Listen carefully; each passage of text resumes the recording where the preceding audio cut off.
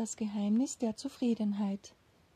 Es kamen einmal ein paar Suchende zu einem alten Zehnmeister. Meister, fragte einer von ihnen, was tust du, um glücklich und zufrieden zu sein? Ich wäre auch gerne so glücklich wie du. Der Alte antwortete mit mildem Lächeln Wenn ich liege, dann liege ich. Wenn ich aufstehe, dann stehe ich auf. Wenn ich gehe, dann gehe ich, und wenn ich esse, dann esse ich. Die Fragenden schauten etwas betreten in die Runde. Einer platzte heraus. Bitte, treibe keinen Spott mit uns. Was du sagst, tun wir auch. Wir schlafen, essen und gehen. Aber wir sind nicht glücklich. Was ist also das Geheimnis? Es kam die gleiche Antwort.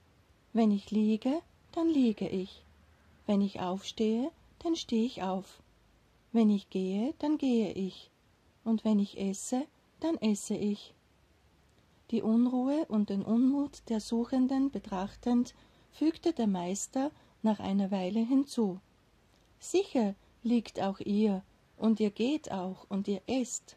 Aber während ihr liegt, denkt ihr schon ans Aufstehen. Während ihr aufsteht, überlegt ihr, wohin ihr geht, und während ihr geht, fragt ihr euch, was ihr essen werdet. So sind eure Gedanken ständig woanders und nicht da, wo ihr gerade seid.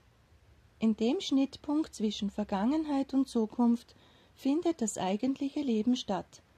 Lasst euch auf diesen nicht messbaren Augenblick ganz ein, und ihr habt die Chance, wirklich glücklich und zufrieden zu sein.